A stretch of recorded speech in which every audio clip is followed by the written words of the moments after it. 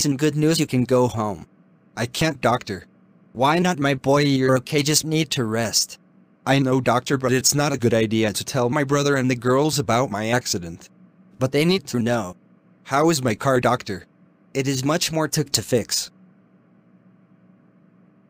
What a relief. But then, doctor, I will be able to leave the hospital to drive. You don't need to rest yet. Okay. Hey Andrew, did you see Mason? No, he wasn't with you. I wasn't looking for him and I went nothing in the hut. He wasn't. I didn't see any of his things. This is strange. Mason would never leave the camp without warning that something is wrong. I'm worried. You're not mad at him. It's not time to talk about it. Apis okay. Nothing of him has nightfall.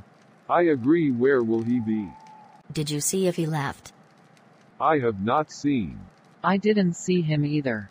Son, Mom. What are you doing here, Mom? I saw you, my son.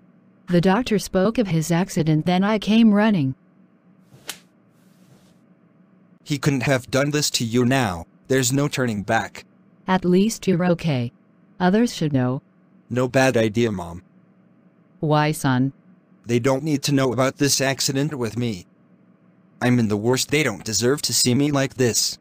But my son, they have to see you. Mom, I ask you don't tell. Okay. Thanks. I'll be able to stay longer. Better life. Where are you, Mason? Wish you were here. Hi. Hi, how are you? I'm fine, thanks. What happened to you? I had a car accident and you. Me too. When you recover, you think about leaving the hospital.